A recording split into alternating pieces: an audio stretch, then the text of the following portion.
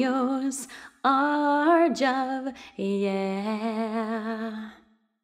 One happy birthday dot com.